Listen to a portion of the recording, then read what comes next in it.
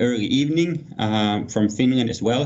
Uh, I'm I'm Kalle Niiranen, and I represent the ALD equipment company uh, Beneq.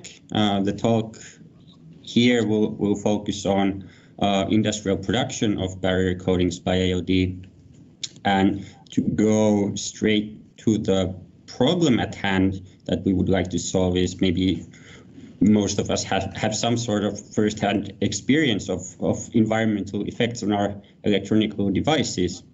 And of course, there are many ways to uh, for, for our devices to fail, but um, I would say moisture still remains one uh, prominent root cause for that. And for example, in the OLED industry, uh, it's absolutely critical um, to have good moisture barrier uh, coatings. Um, specifically, then, when once uh, many electrical components are assembled on, on printed circuit boards called PCBAs, um, there are some specific issues, such as there might be sensitive components um, that need extra protection, or then um, you would like to prevent corrosion, of course, or, or then, uh, as they now include tin, um, there's a growth of tin that you would like to inhibit. We call this tin whiskers. And in the medical field, uh, they say uh, prevention is better than the cure. So it would be only logical um, to prevent uh, your devices from um, from exposure to the environment. And in this regard, why not try ALD? As we, we hopefully know, ALD can provide dielectric films which are very dense. Um, they are conformal, um, so they will go anywhere uh, on the coated part. Um, and on the right, there's a kind of uh, application-driven chart um, showing that what applications require which type of barrier properties. And, and we see that the, the trend is that the higher barrier quality starts to require ALD. And um, in an industrial setting, ALD is also a feasible solution because it's a scalable deposition technique, and it's also you can make it very cost effective. And all of these targets um, to improve the reliability and lifetime of the device. Um, of course, it's not a novel idea to, to coat your electronics in order to protect them. And in fact, in the PCBA industry, specifically, they use the term conformal coating, um, which to them means uh, a thin polymeric film. Now, once they say thin, they mean multiple tens of micrometers, which is quite thick for ALD people. And um, even researchers who study ways um, to protect the PCBs, they sometimes omit ALD. So on the right here, you see a comparison chart um, by researchers, and and I've now added ALD into this chart here um, to kind of give a fair comparison. This is stemming just from our experience of coating um, electronics.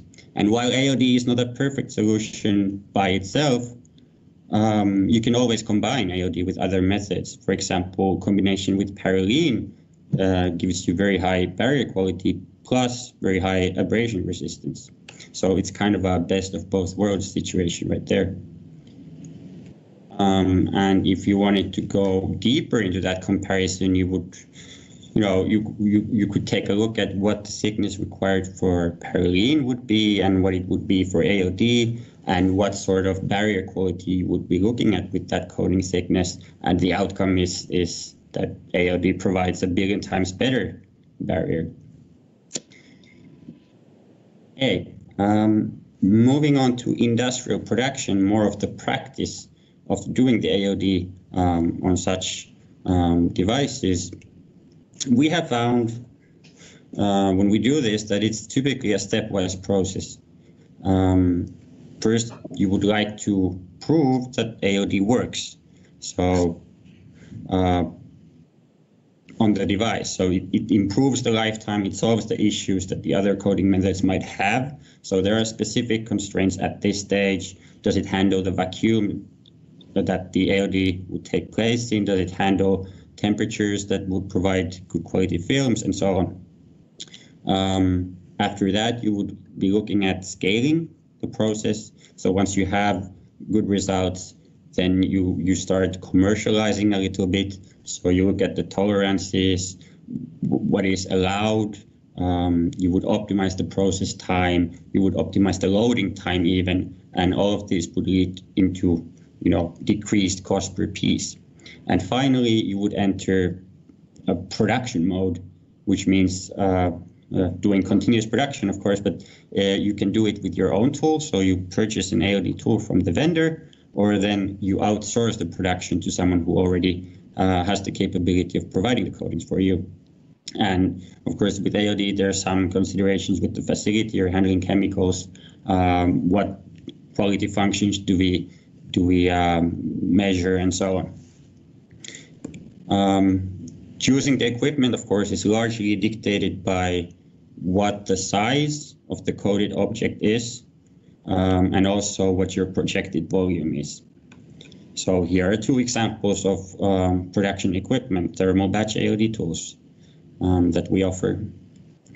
And to understand the scale of things, I've included an engineer for scale. So um, the person in blue is, is operating a P800 reactor in our clean room facilities. Um, and that is kind of the reactor uh, that goes into the ALD tool and the shelves can then be filled with the products.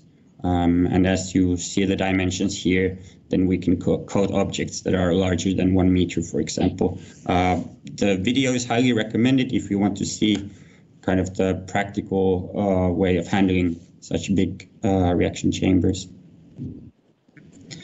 Uh, and when we do the batch coating, we of course want to preserve uh, the good features of ALD, for example, delivering high uniformity so that um, uh, there are there is a little variance between the products that are coated.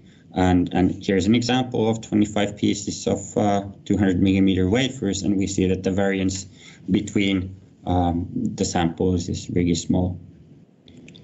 Okay, um, so uh, uh, an example case, so we've, we've seen the steps and, and some of the kind of theory behind this. Uh, this is an example customer case of how the road to, to production goes. So we start with a small amount of pieces uh, for PCBAs and uh, and we look at what constraints are there. We find the maximum temperature and the parameters where the coating can be done.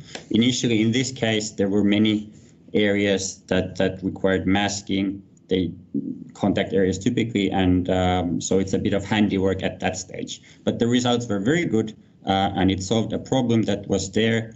Um, so we we went to the next step, and in this step, we implemented customized holders so that we can maximize the amount of pieces that we're coating. Um, we adopted some quality control measures and, and agreed on what we are tracking. We increased the batch size uh, by a factor of 100. And then also there's there's the possibility of um, designing for ALD so that the, this masking work becomes much easier so that um, okay so, so the kind of the product is optimized for ALD production. Um, and then finally, in this case, the customer decided that they would like to outsource the production to us. Um, we had a production plan from the customer, seeing the volumes and the projections. Um, work conducted here. We have clean, clean room facilities for that, uh, and the production uh, is, is ISO certified. And if they come up with ideas on how to improve, or we come up with ideas on how to improve, uh, then then together we can agree and and bring the cost down even more. Um, practically speaking, this is now a bit more optimized for production here. Uh, as you see, the PCBs are loaded on a shelf, and it's very easy to mask the contact areas now, as you just need a long strip of tape this is just Kapton tape. It works fine. Uh, you mask the contact areas and you load them in the reactor on the right so you can batch coat uh, multiple layers, which again are composed of these PCBAs. And tracking the production quality so once you, once you run this process over time, of course, you want to be sure that you're delivering good quality. So one way to do that is is statistical process control. And here's actual data from from last year where we did PCBA coatings, uh, coatings for PCBAs. Um, here with our thermal batch ALD tool, um, this is over 100 runs. Each uh, data point here is the average thickness in a coating run. And if you have been exposed to uh, quality metrics, then you know that this result 1.79 here means that the process when it's running, it's between 5 and 6 sigma, which is an excellent result. So ALD is very repeatable and it uh, adheres to kind of normal standardized uh, production uh, control measures. Um, a little bit about Beneq. So uh, hopefully you know that Beneq is an ALD tool supplier. Of course, we provide services as well. Uh, we are headquartered here in Finland and we operate a, a ALD plant. So with multiple ALD tools for production and for, for demonstration. Um, and just from the history of Beneq, uh, we have accumulated over 30 years of experience of doing actual industrial production with ALD.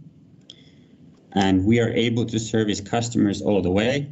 Um, as you saw the steps before, so proving that the ALD can help in, in, in building a solution, then of course scaling up that solution into a, a feasible industrial sc scale and also to bring the cost down to a level that is acceptable. Uh, and then of course supplying the equipment if the customer wants to have their own tool or then doing the production here in-house uh, with our production tools.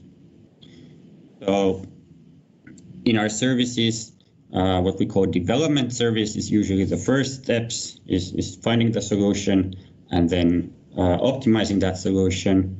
And the coating service part is um, the production part.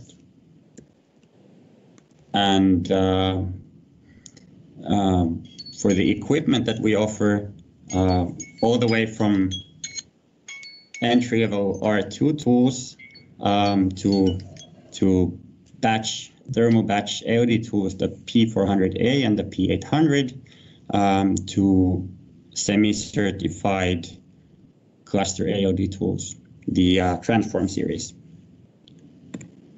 Okay. Uh,